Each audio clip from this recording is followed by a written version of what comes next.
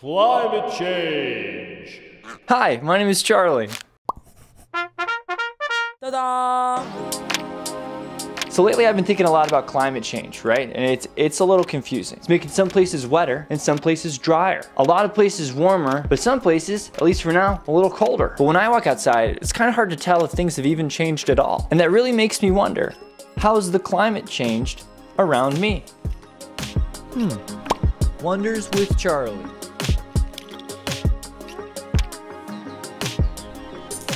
Wonders with Charlie is supported by Wonderopolis.org, a website by the National Center for Families Learning, and by subscribers like you. Thank you. Okay, so how has the climate changed around where I live or where you live? To answer this question, we get to go outside Outside. and look for one of these a stump. Everything we need to know is right here in the stump's tree rings. Tree ring. So I'm sure that you guys know that trees grow a new ring every single year. Here's kind of what that looks like. But the really neat thing is that the thickness of that ring is determined by what the weather was like the year that it grew.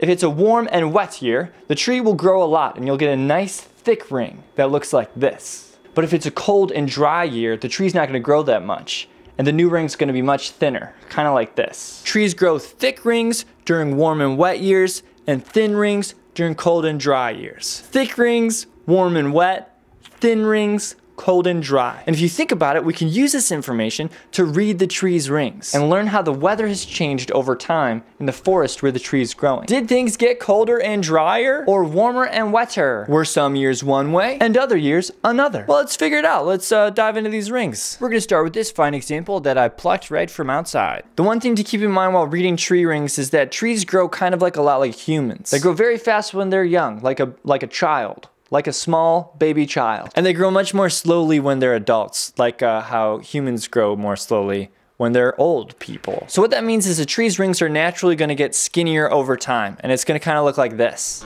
This is what a normal stump should look like ring-wise. You got your thicker rings in the middle and your thinner rings on the outside. What we gotta do is to look for the differences, like the rings that don't really follow this pattern. Looking for rings that are thicker than expected or thinner than expected, like these two right here. These are the years the weather was different. It wasn't really normal. So paying attention to those can help us understand how the weather has changed over time. So we'd expect the rings to be thicker in the middle and to get thinner and thinner as we move towards the outside of the stump. But on this stump, there are two spots where it doesn't follow that pattern. Instead of getting smaller, here and here, the rings get thicker. These differences are very subtle and it helps to look up close. See, we got thinner rings over here to thicker rings over here, which means that these rings grew during years that were warmer and wetter than usual. And here's an even bigger stump that I checked out. It has 64 rings, so it was 64 years old when it was chopped down. It has thicker than expected groups of rings here, here, and here. Even more evidence that things are warmer and wetter than usual. So, if I had to guess how the weather might be changing around me,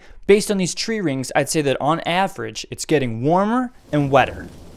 And the neat thing is, that's true. Here are two confusing graphs that show just that. That Chicago, where I'm from, is getting warmer and wetter, thus confirming our tree ring results. So trees are kind of like climate time capsules, which is helpful because in a lot of places, scientists have only been taking weather records for like 100 years or so. But now they're studying the rings of trees that are thousands of years old, which can help them figure out what the climate was like way before they were even taking those records. So hey, I got a great idea. Go outside and find a stump near you. Figure out how the weather has changed in your neighborhood. And let me know what it's like in the comments below. And thanks so much for watching this episode of Wonders with Charlie. I'll see you guys next time when I'm wondering something else.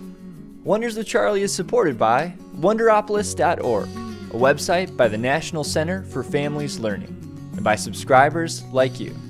Thank you. Oh, and also all my wonderful patrons on Patreon. Thank you guys so much. If you'd like to check out some behind the scenes content and see how I make these videos, click here to visit Patreon. Click here to subscribe for more awesome videos like this. And if you're looking to watch something else, just click right here. Thanks so much for watching. I'll see you guys next time.